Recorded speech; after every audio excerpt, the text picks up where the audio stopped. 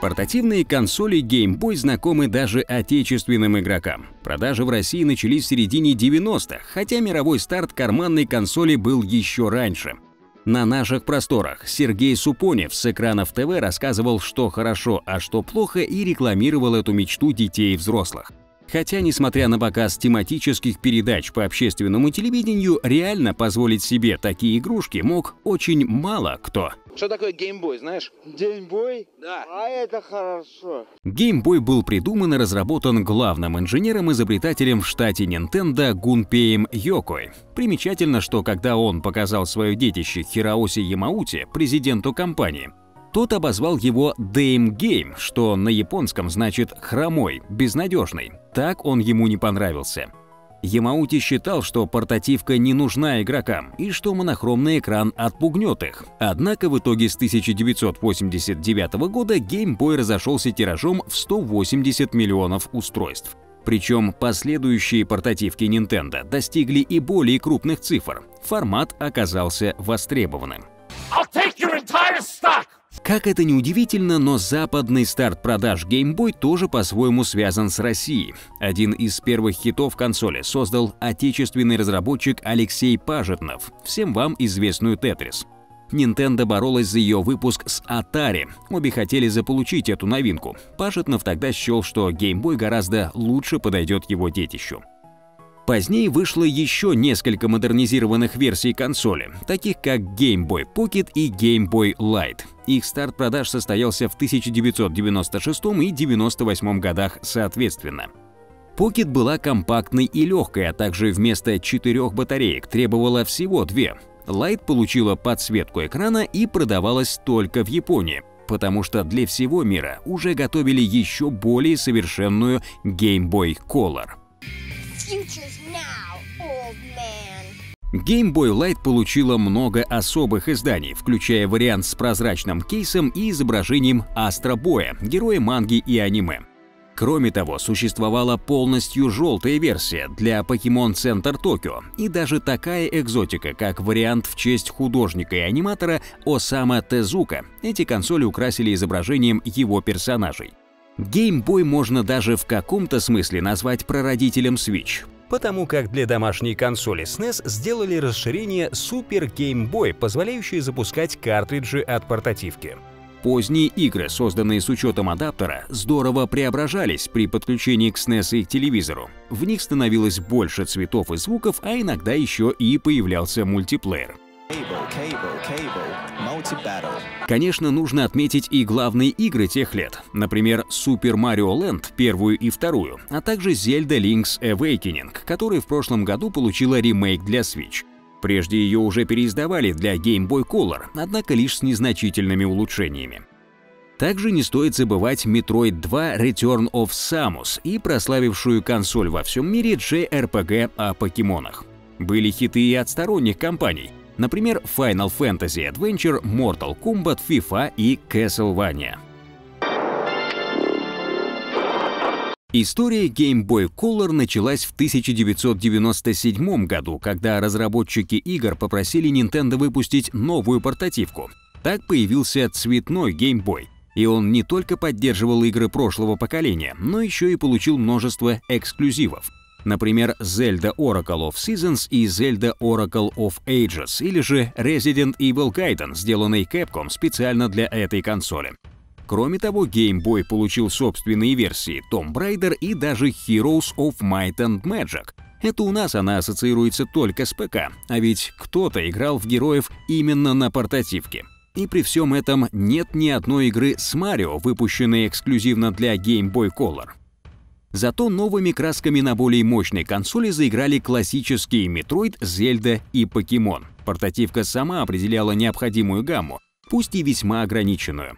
Напоследок еще один факт. На логотипе консоли слово «Color» выполнено в тех цветах, в каких были выпущены сами консоли – ягодном, виноградном, киви, желтом и бирюзовым. Весьма остроумно. Следующей портативкой Nintendo стала Game Boy Advance, которую представили публике на японской выставке Space World в августе 2000 года. В продажу она поступила чуть позже, в следующем марте, и стоила на тот момент 9800 йен, то есть около 7000 рублей по современному курсу, но без учета инфляции. Внешний вид новой консоли разработал француз Гвиналь Николя в своей токийской дизайн-студии Curiosity Inc. Портативка выпускалась во множестве разных цветов. Изначально были доступны индиго, оранжевый, белый, черный, а также полупрозрачный розовый и фиолетовый. Далее появились такие расцветки, как золотая, платиновая, красная и оранжево-черная. Были и ограниченные издания – розовая с Hello Kitty, полупрозрачная голубая Chobis Edition, черная в честь Kings of Fighters и несколько так называемых ледяных с Марио и Луиджи и с токийской бейсбольной командой «Гиганты». Не обошлось и без консолей в честь покемонов. Многообразие поражало. Даже сейчас на крупных торговых площадках можно найти варианты корпуса на любой вкус. Еще одним приятным бонусом новой консоли стала обратная совместимость с двумя предыдущими. Она не только могла запускать игры с черно-белого, или точнее зелено-серого Game Boy, но и раскрашивала изображение, превращая в цветное. Картриджи же от Advance к старым консолям не подходили, но зато игры на них были такими, что раскрывали потенциал мощной новинки. GT Advance Championship Racing, например, впечатляла трехмерной графикой. Также консоль была в состоянии потянуть игры уровня SNES, а потому портативные версии появились у многих крупных хитов. Среди них Yoshi's Island, Link to the Past, Final Fantasy VI, Donkey Kong Country и это лишь малая часть тех игр, которые стали доступны в любом месте и в любое время. Были и знаковые эксклюзивы, созданные специально для Advance – Metroid Fusion, Zelda, The Minish Cap и прочее. Они уже стали классикой. Вопрос, во что поиграть, не стоял. Сложнее было найти время и средства на все хиты. Также на картриджах выпускали мультфильмы, в том числе знаменитые «Лило и Стич» и «Губка Боб».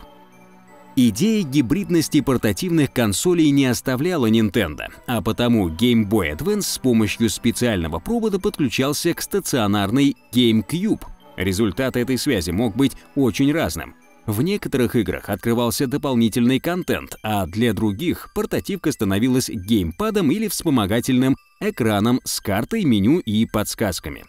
Также был аксессуар Game Boy Player. Он позволял любые игры карманной консоли запустить на GameCube и управлять ими прямо с портативки. Вот такой получился трансформер или Вольтрон, если точнее. Существовали и прочие гаджеты – беспроводные адаптеры, девайсы для связи с мобильниками, картридеры и даже устройства для анализа крови на предмет диабета. Японцы придумали уйму всего.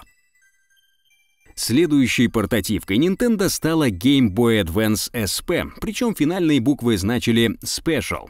Консоль напоминала телефон-раскладушку, и это здорово защищало экран.